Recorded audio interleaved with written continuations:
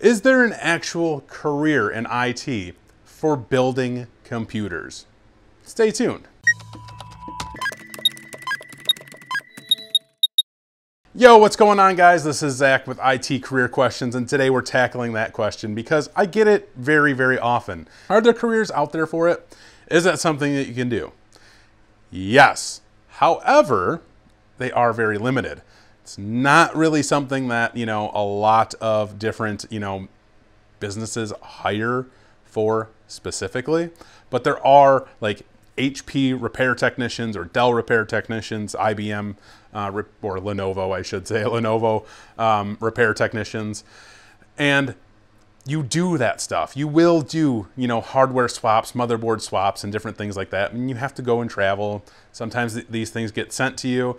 I think there's, um, you know, a, a, few places in the U.S. that have um, like a central hub where you send, you know, like your computer into, and they'll do like those types of um, hardware swaps and things like that, you know, for the, the big manufacturers. Um, I know for Lenovo, I sent something to their um, repair address, and the next thing I know, it came back from like China or some something, you know.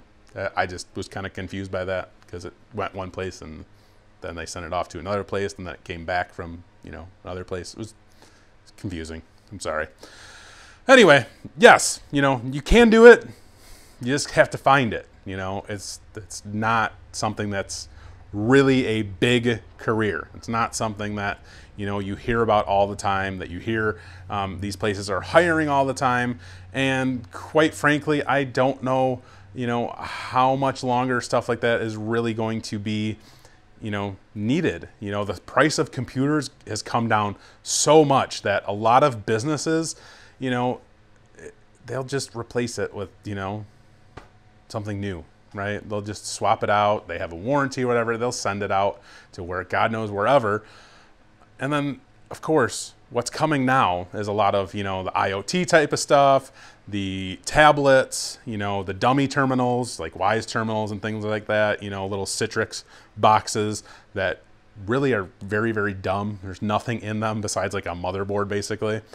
And that's going to limit a lot of what's happening right now with the hardware side of things. So thinking about it right now, it's like, okay, well, right now you probably could get a job somewhere doing stuff like that, but I don't know how much longer that stuff is going to be around and heavily needed.